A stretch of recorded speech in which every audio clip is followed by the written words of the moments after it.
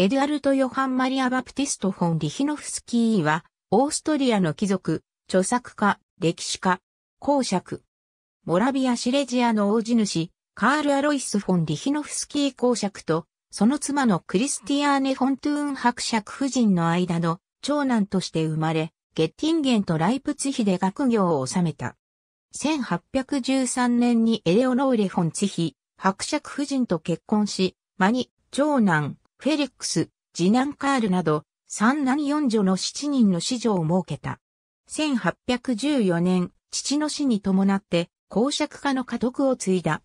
所領の経営では、合理的な羊の飼育法を採用した。リヒノフスキーは、大衆娯楽作品も学術書もこなす多彩な著作家であった。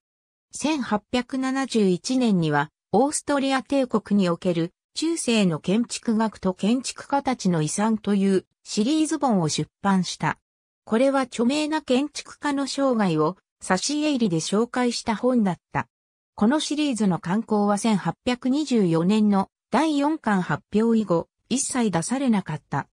リヒノフスキーはむしろフェリシテ・ドラムネーの著作のドイツ、ご翻訳者、紹介者として熱心に活動したが、自身が翻訳したのは一冊のみである。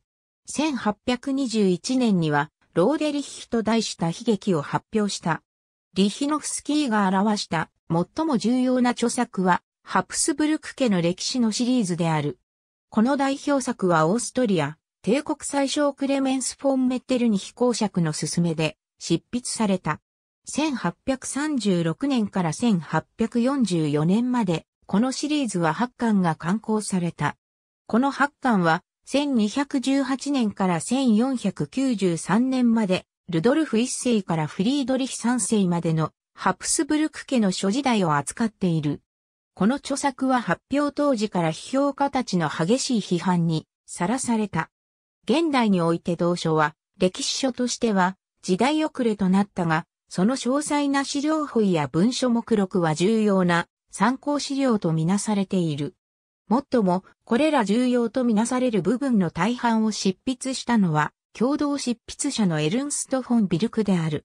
晩年は、健康を損ねて、ローマで長く療養した後、1845年に、ミュンヘンで没した。ありがとうございます。